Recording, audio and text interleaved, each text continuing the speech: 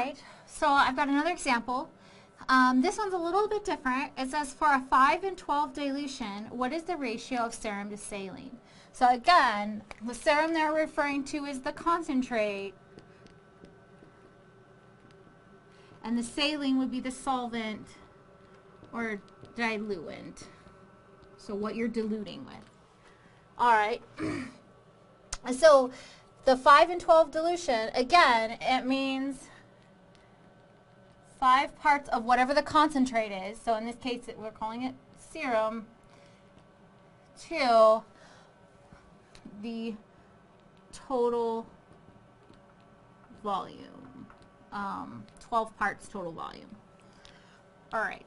So 5 parts serum to 12 parts total volume. That's the information they give us. But what they're asking us for now is a ratio of serum to saline. So the volume of the serum to the volume of the saline. So do we see the difference here? So the total volume, the 12 they give us here, includes not only the saline, but also the serum. It's everything added together. So if we have five parts serum, how much, can we figure out how many parts saline we will have? So the total volume is going to be the five parts serum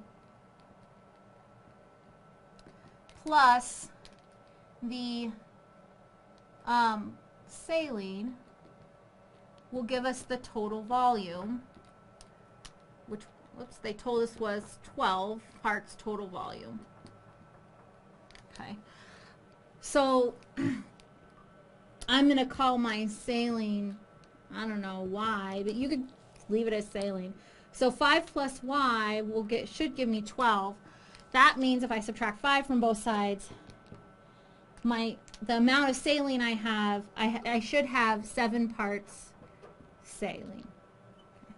So if I want to have the ratio of serum to saline, right, I'm going to have 5 parts serum to 7 parts saline. And how you can check this, this should add up, 5 plus 12 should give us our total, total volume. So that's the ratio of serum to saline. Um, different than the dilution that they give us of 5, 5 and 12.